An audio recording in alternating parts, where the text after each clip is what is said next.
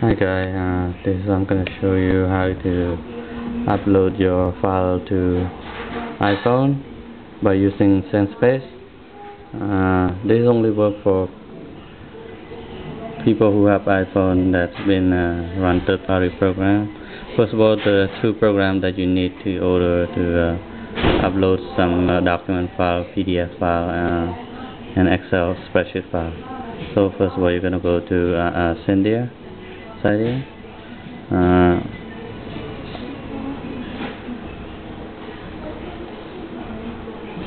take a little while because uh, I'm far away from my wireless. Uh, you want to download a program called search. There's a program called iShare. Uh, you guys can see this I'll probably post it on the blog uh, link here you go iShare you can see this you need to download one program already install it. If somebody who doesn't have it just click there and installing it. Uh, there's other program they call docs. D O C S. Here you go. This is from uh, source from Big Boss. Okay so just install that program as well. Uh, I'm assuming you already done installing uh, now let's go into this file um, this is where the uh, you open your document and all the stuff with you can see this is with all the stuff. This is my document. Uh, but let's not go to that right now. This is iShare I already installed as well. Uh, but how do you gonna transfer the file from your computer to your iShare account okay I'm going to show you right here. First of all open a web browser.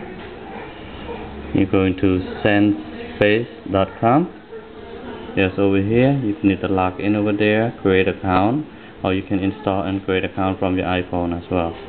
Here's a place you can upload your file. Uh, it's allow this is free but it's allow you to upload uh, file up to 300 megabytes so click browse and browse where the file you want to search for um, and want to upload it to. So here you go. I got one file right here the document. I uploaded uh, the Motorola H2 uh, opening up. I want to name it to uh, testing. Said wrong I okay I want to type in the recipient. It's not if you want to upload your own account that's fine. You don't have to put any e recipient email. It will to be uploaded to your account and then you can download off from your account from your in your iPhone. Here you go. I'm uploading it here so you see the process running. It's done. Because the file is so small this is done already and then come back to my iPhone. Here you go. I'm click on my iShare account. Uh, as I mentioned before you can create uh, things uh, they call username down here. You can see right here the register. You can just click on that. That's, uh, I already have the accounts in there.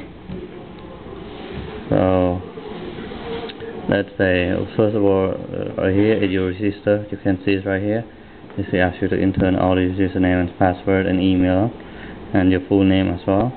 Okay but I already creating this account already uh, so I'm gonna log in. Now I'm already in. They will ask you you could just do this uh, I'm gonna download the file I just download uh, uploaded early.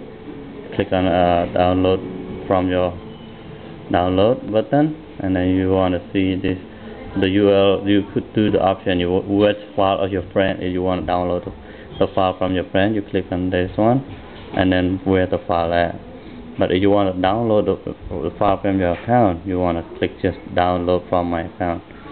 This will directly log into your account. And here you go here you go Motorola H2.doc I'm gonna click on that file and where directory you want to put into your iPhone. Mostly it's gonna be placed in uh, mobile mobile and then document. I'm gonna put in there and select it. Thing running here you go real quick. I'm done. I'm going back to main menu. Quick. I'm going to the docs. So to open my document. Here's the file that's already the docs already know that's where I usually save my file at. It's on on mobile and document. Here's the doc. I open it up. Boom.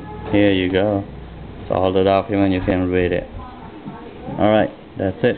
Thank you folks if you have any questions just uh give me a feedback I will respond with you. Thank you